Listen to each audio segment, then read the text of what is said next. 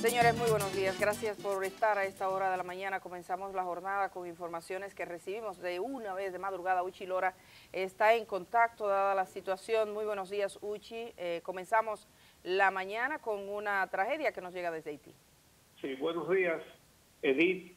Buenos días a todos los que se conectan con nosotros para estar al tanto de todo lo que sucede en el país y en el mundo. Efectivamente, el presidente de Haití, Jovenel Mois fue asesinado esta madrugada en su residencia por un comando armado que penetró y también hirió de bala a su esposa, eh, cuyo estado se desconoce en este momento. Eh, esto fue anunciado ya oficialmente por el primer ministro Claude Joseph. Eh, y hay una versión de primer momento según la cual el comando estaba integrado por eh, mercenarios centroamericanos.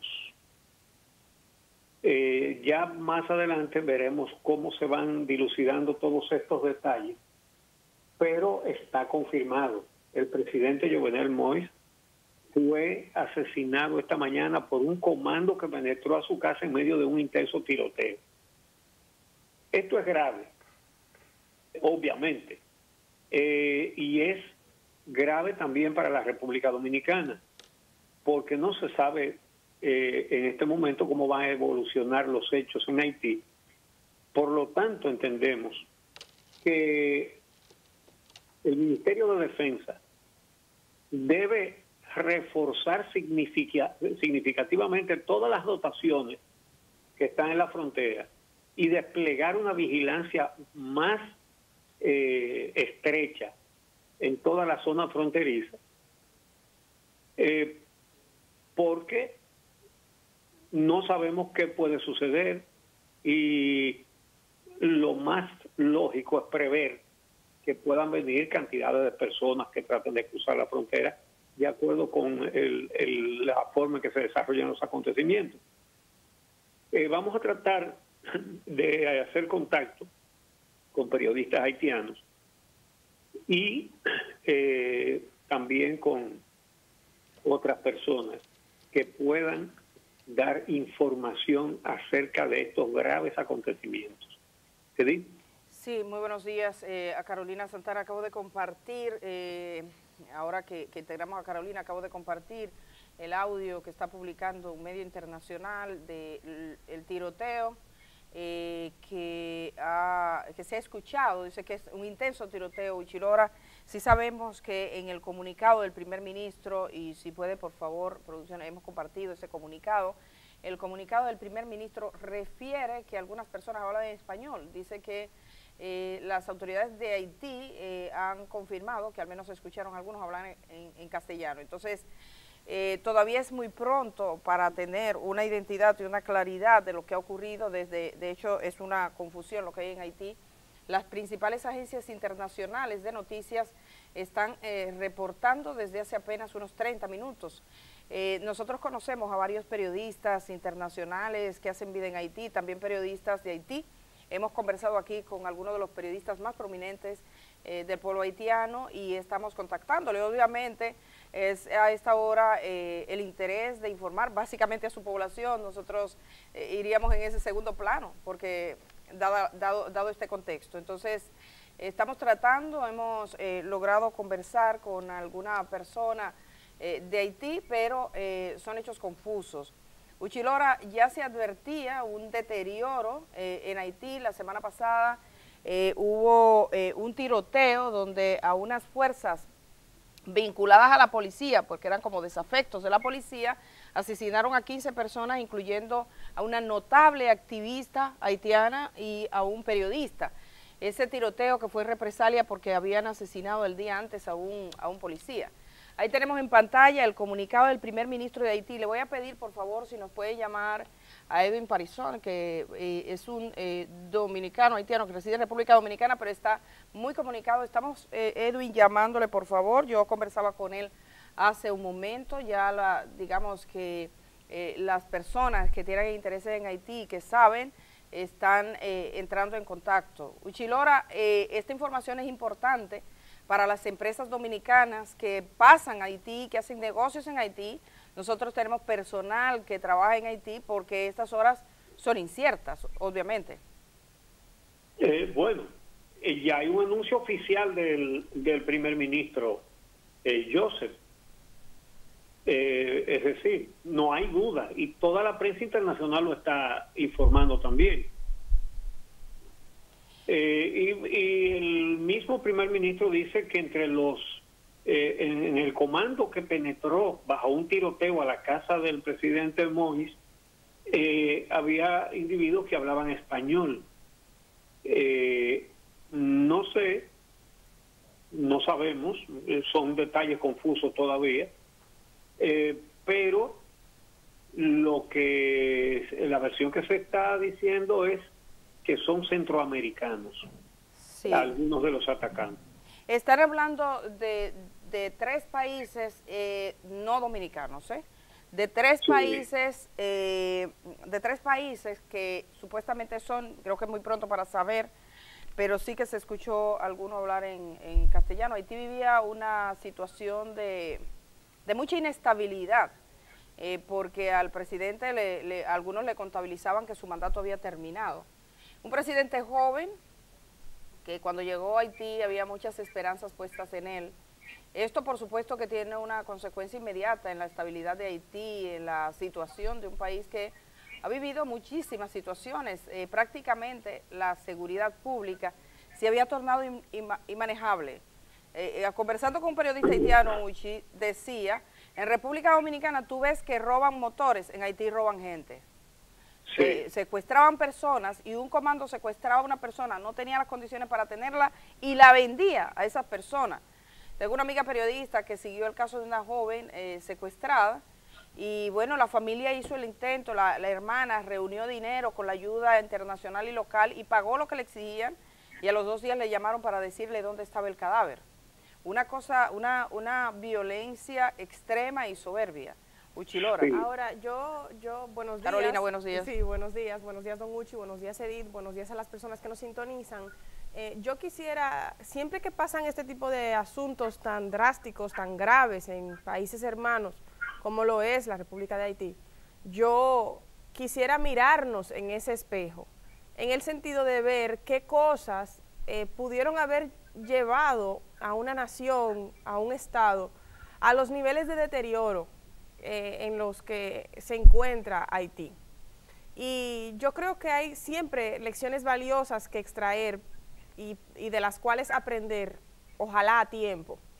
Haití viene en un proceso de deterioro institucional, en primer lugar, que ha hecho que la población vive sumergida en una situación de desigualdad, profunda violencia, que es lo que la desigualdad genera a largo plazo, eh, altos niveles de corrupción, aún más altos niveles de impunidad. Recientemente incluso se hablaba de un perdón a los, eh, a los funcionarios que serían los funcionarios salientes por lo que sea que hayan cometido como una, como una carta blanca. Y eso genera eh, o ha venido generando poco a poco una estructura estatal que no es capaz de ofrecer los servicios básicos del Estado, naturalmente un Estado pobre también tiene eh, limitaciones económicas, eso eh, nadie lo puede negar, pero incluso hasta con el tema de las ayudas, y al final lo que se generó en, eh, lo que se ha ido generando en Haití en parte tiene mucho que ver con la incapacidad institucional de hacer frente a los males sociales, incluso con la capacidad institucional de aportar razones o, vehículos para la, para la violencia eh, que ha vivido Haití en la última década sobre todo, pero en general, eh, la verdad que en, la última mitad de siglo. y sí, don Uchi. Sí, parte de las palabras del el primer ministro Joseph, sí. él dijo, esta mañana, a la una de la mañana, 7 de julio, un grupo de personas no identificadas que hablaban en español y en inglés asesinaron al presidente de la República. El presidente ha muerto a causa de sus heridas.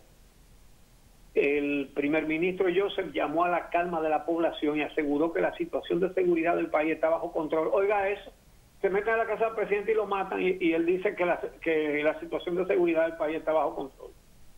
Condenó el magnicidio, el magnicidio, dijo que fue un acto de barbarie. Eh, hay que señalar que dos meses esto sucede dos meses antes que las elecciones que estaban convocadas para el 26 de septiembre. Eh, para esas elecciones, el presidente Mois no podía ser candidato. Entonces, pero él había convocado para la misma fecha un referéndum para aprobar una nueva constitución. Ese proyecto no contó con el apoyo de nadie, ni de la oposición, ni de la comunidad internacional, ni de nadie. Entonces, eh, ese es el, digamos, el ambiente en que se produce esta barbaridad. Reitero, es, y supongo que ya lo están haciendo, eh, es una responsabilidad del Ministerio de Defensa de la República Dominicana sellar la frontera. Hay que reforzar las fuerzas que están ahí para tener la capacidad de impedir cualquier entrada masiva. Eh, la verdad es que estos son hechos de absoluta gravedad. Haití ha demostrado ser un estado fallido. Eh, en Haití no parece haber nadie que tenga, ni siquiera, eh, no digamos ya un plan para llevar adelante el país. No, no, no, no, no, ni mínimamente. Nadie tiene ningún planteamiento de nada. Eh, ni en las clases dominantes, ni entre los ricos, ni entre los... Eh, eh, nadie, hay nadie tiene ningún proyecto de qué hacer con su propio país. De manera que, obviamente, nosotros como sus únicos vecinos, tenemos que reforzar significativamente la vigilancia de la frontera. Yo eh, quisiera rescatar, eh, sí, adelante, Di, no te eh, preocupes. no, solo, solo decir que están confirmando que la, esposa, las heridas son graves, que resultó herida grave en este atentado que se produjo anoche donde fue asesinado el presidente de Haití. Eh, estamos entrando en comunicación eh, en algunos chats de, donde están periodistas haitianos, hay mucha confusión, estamos recibiendo imágenes, por ejemplo, de un tiroteo, eh, pero estamos confirmando un tiroteo que solo se escucha ese gran tiroteo. Si quiero puntualizar que la imagen que compartía nuestra productora, por favor vamos a compartirla de nuevo, son imágenes de esta noche, después se la ha compartido un periodista haitiano que, dada la ocupación en este momento, eh, no puede entrar precisamente, pero un poquito más adelante vamos a hablar con él. Estas imágenes. Esas imágenes son de esta noche frente a la residencia donde ha ocurrido eh, este asesinato. No tenemos detalles de las circunstancias de las imágenes, estimamos que son posteriores a que se produjera el hecho. Eh, el titular nos, tapa, nos cubre un poco a los militares en movimiento. Eh, pero sí, algunos medios locales ya están adelantando que República Dominicana... hay que quitar el titular. Exacto, exacto, sí, porque lo, lo cubría. Ahí está, estas son imágenes de esta madrugada. Sí, yo quería agregar en el mismo sentido que mencionaba hace un ratito y precisamente a propósito de lo que menciona Uchi sobre la reforma constitucional que se intentaba fraguar en Haití eh, para permitir un periodo adicional eh, del presidente hoy fenecido, que ese es, el, ese es el tipo de asuntos en el que yo creo que debemos eh, mirarnos en ese espejo. Naturalmente nada jamás justificará un acto de violencia eh, y por tanto no es en ese sentido que lo menciono, pero sí en notar el nivel, eh, el tipo de síntomas, el tipo de proceder institucional que degenera en un Estado prácticamente fallido y que degenera en una situación de violencia nacional y de polarización política eh, que ahora, como bien dice Don Uchi, es muy difícil hacer un plan. Muchos sectores no saben ni siquiera, eh, para decirlo en buen dominicano, cómo marcharle a la situación de Haití, qué hacer para revertir los niveles de deterioro institucional y de, deterioro de la política pública a los que ha llegado hasta el punto de que en el pleno 2021 Haití está hoy viviendo una situación de magnicidio. Uchilora, eh, evidentemente algunas decisiones habrá que adoptar en el área fronteriza, algunos medios están adelantando que República Dominicana ha tomado medidas, no tenemos una confirmación, estamos muy pendientes, pero eh, según a esta hora de la mañana, eh, Noticias SIN está diciendo que el presidente Abinader ha ordenado el cierre de fronteras con Haití y que convoca a los altos mandos militares, vamos a trabajar en este sentido. tenemos información también de periodistas haitianos, desde la zona. Están compartiendo algunos videos, sí, esta información a esta hora de la mañana. Eh, y nosotros eh, estamos en contacto con, eh, con periodistas haitianos. Debo decir que hay un, un espacio donde están remitiendo algunas imágenes, hay algunas que tenemos pendientes de confirmación. No quisiéramos, por ejemplo, compartir un tiroteo sin tener esa certeza. Es una hora difícil, una hora muy difícil, Uchi, para, en términos informativos, eh, eh, porque ha sido esta madrugada y además, yo por ejemplo estuve conversando con periodistas haitianos que estuvieron en República Dominicana y ellos decían que estaban viviendo una hora eh, muy difícil y que era de sumo riesgo por la misma situación de inestabilidad, los periodistas se habían convertido en objetivo y entonces tenemos que hace poco menos de una semana el asesinato de un periodista haitiano y de una activista muy reconocida, unas personas pacíficas que no le hacían daño a nadie. Eh, recordemos que de República Dominicana habían sido secuestrados unos jóvenes que viajaron a Haití, quizás eso puso eh, en el contexto dominicano un poco más de atención a lo que ocurría en Haití. Nosotros tenemos una comunidad dominicana pequeña, pero está ahí en Puerto Príncipe. Estamos haciendo también el intento de contactar con las autoridades eh, diplomáticas dominicanas en Haití, pero eh, estamos comenzando la jornada. Es una noticia con la que despertamos, mucha gente está preguntando, queremos ratificarle si usted acaba de despertarse que el presidente de Haití ha sido asesinado por un comando armado que entró a su residencia, una información que ha sido confirmada por el primer ministro de ese país, Uchi Lora. Sí, eh, hay que recordar que el presidente Jovenel Moïse denunció el 7 de febrero de este año que sectores de la oposición, con el apoyo de jueces, dijo él, tramaban un golpe de Estado. Eh, eso eh, puede que esté conectado con lo que está pasando ahora y puede que no, porque eh, en, en Haití ese tipo de cosas no vienen de un solo grupo. ahora tenemos, tenemos a Edwin Parizón, eh, eh, en un momentito. Ah, me están pidiendo, un momentito nos están pidiendo para que él eh, conecte con nosotros. Él está aquí en Santo Domingo, ha estado en contacto con las autoridades haitianas. Estamos escuchando, el sonido está en contacto con las autoridades haitianas y con gente desde Haití, pero también como conoce profundamente su país, el contexto donde se producen estos hechos. Ha sido, Uchi, una situación, digamos que inesperada, porque ciertamente, como usted dice, eh, se ha hablado de intentos de golpe de Estado, situaciones diversas, pero eh, eh, vamos, a, vamos a verificar cuándo fue la última vez que en Haití ocurrió algo como esto. Hemos visto muchos años de inestabilidad, pero no el asesinato de un presidente en ejercicio, Uchilora. Uchi, yo creo que se ha caído también la, comunicación de Uchilora. Como, como tenemos a Edwin Parizón y estamos contactando con él, eh, también con periodistas haitianos, vamos a hacer algo. Hagamos una pausa brevísima, nuestra productora, así podemos, y también yo puedo responder a un eh, periodista haitiano que me escribe esta hora de la mañana, ¿les parece? Hacemos ese cuadro, estamos produciendo en vivo porque es a esta hora.